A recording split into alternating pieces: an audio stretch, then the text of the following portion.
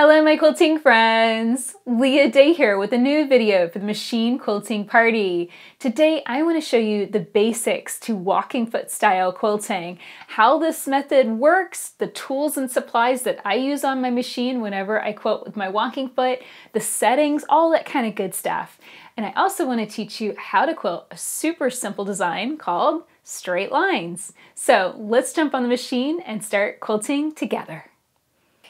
So let's get started by attaching our walking foot to the machine. This foot needs to attach in a special way so that this arm moves up and down with the needle bar so that way these feed dogs here on the bottom of the foot, you see that moving? So that way it moves in time with the needle going up and down on the machine.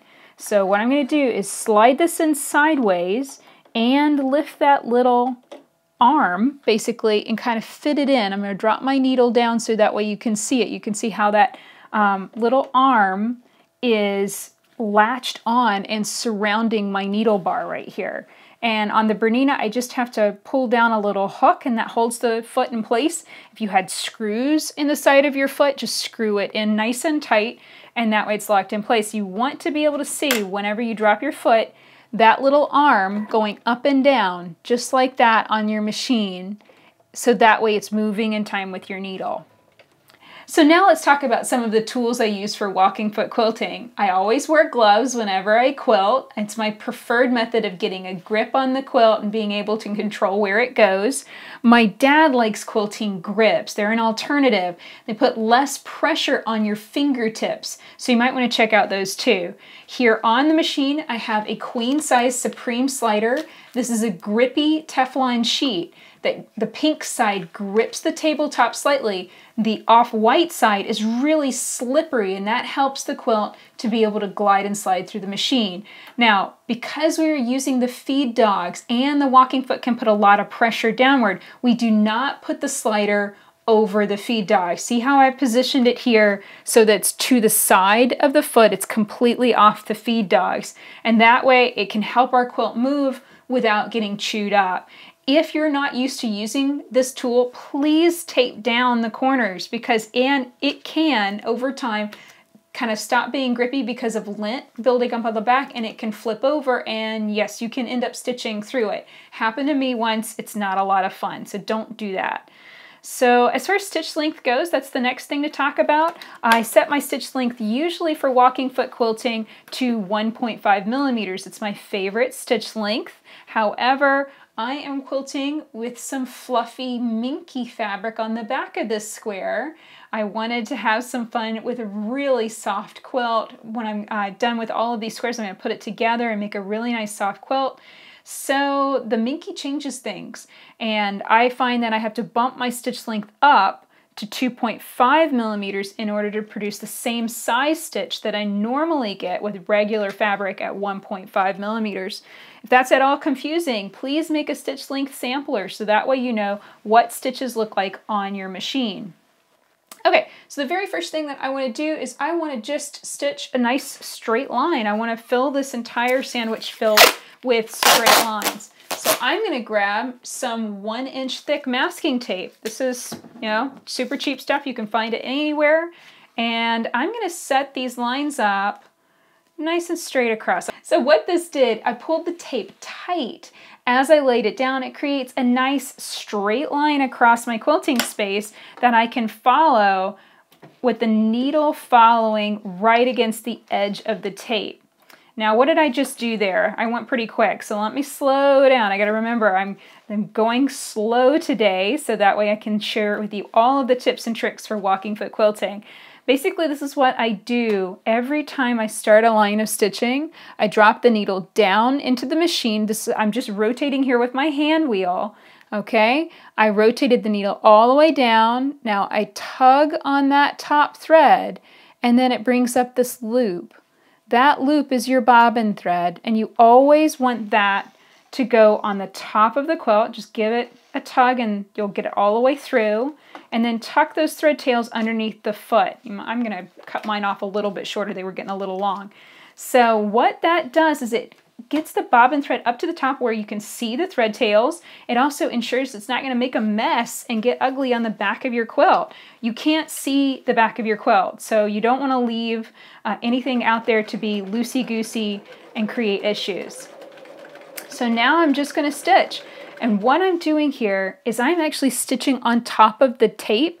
The needle is not piercing the tape. Here's a picture of it straight on so you can really see a close-up.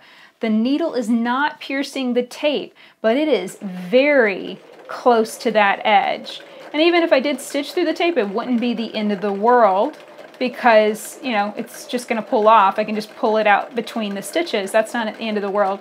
But I wanna stay right on the edge of the tape. It's gonna help me guide a nice, even spaced, straight line all the way across my quilt. And this is honestly the quickest and fastest way to mark a straight line, to get one established, and begin that process of stitching straight lines uh, in any area of your quilt, whether it's across the entire length of the quilt or it's just in one little section, maybe just in the blocks. And, and just in case you're feeling like this is too simple and too easy, please understand that straight lines can add such a dramatic texture to your quilts it's a very simple design. Yes, it's very easy, but it's also, I think, very beautiful. So don't roll your eyes. Give it a try, definitely. Okay, so now I'm going to remove the tape because that's my baseline. I'm going to stitch this on a half inch scale. What does that mean? Scale refers to the distance between your lines of quilting. So that if I stitched over two inches, and stitched another line two inches apart, then I would say that's a two inch scale. That's the distance between your lines of quilting and that determines uh, how soft your quilt's going to be when it's finished.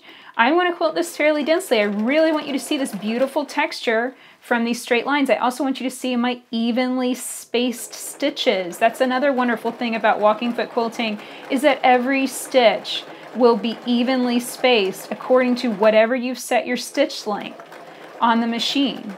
So these beautifully evenly spaced stitches are now also going to be evenly spaced in half inch lines. Now what am I using to space out these lines? I'm just running the edge of that walking foot right against the edge of that line I just stitched careful stitching. All my hands are doing really is just guiding. I don't actually need to put my hands on the quilt at all. And if you find yourself your stitch length kind of fluctuating, it might be that you're maybe pushing just a little bit too much. You can really take a light hand with this. See, I'm not even doing anything. And that's the the power of the walking foot and the feed dogs on the machine guiding the quilt through the machine. All I have to do here is just a little bit subtle adjustment every once in a while just to make sure that the walking foot doesn't start to veer in one direction or another. So you can take a really light hand with this. It's only whenever you get into really big bulky quilts that you really have to start manipulating things a lot. Now I've got a thread break here. I'm going to tie this off and bury it real quick. You can find another video on how to tie off and bury thread tails securely in your quilt. Uh, I like to do this with every single thread break and anytime I get close to one I just go on ahead and knock it out. And I do this with a cheater needle. It is a special self-threading needle, has a little groove on the end. And you can see that took all of what, 30 seconds, not even that. So it has a little groove on the end and allowed me to pop the thread tails in real quick, tie a knot, bury it in the middle of the quilt. It's super secure now, not going anywhere. So definitely check out that video so you can see how to bury your thread tails securely. Now I'm lazy, I'd have to rotate all the way around, kind of cram the block in the machine to get it around face this way, and I really don't like to do that. So instead, I'm gonna line my foot up here nice and straight, and I'm gonna hit the reverse button and slowly stitch in reverse, because I wanna work these lines from the center here to this outer edge. So I wanna continually work that way. So I just hit that reverse button did some travel stitching here, and now I can rotate much easier, be able to see my next line. Now I overshot a bit, so I'm gonna just pick up that needle with my hand wheel and drop it back down so that this edge of the foot now is lined up with this line of stitching. And now I'm just gonna continue that process, stitching that next straight line. You you wanna be smoothing the quilt out with your hands you know, gripping it a little bit, but really you're letting the machine do the work. And notice my pace, my speed here. I'm not racing to the finish. I am going slow and steady, and that's the key. A walking foot has to walk, so you really can't race it. I mean, I can put my foot down, but more than likely what's gonna happen as I really increase the speed is my stitch length might start to suffer because then I might not be getting quite the same amount of grip and pull from my walking foot that I would be if I was going nice and slow and steady. So that's it for straight lines. I really hope you learned a lot in this video. Here's what it looked like whenever I finished quilting this design in my square. So that's it for this video. I hope you learned a lot about walking foot style quilting and you're ready to jump on your machine and give this a try.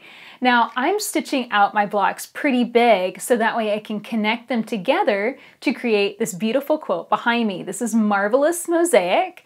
So if you'd like to quilt along with me, all you need is a copy of my book, Explore Walking Foot Quilting with Leah Day.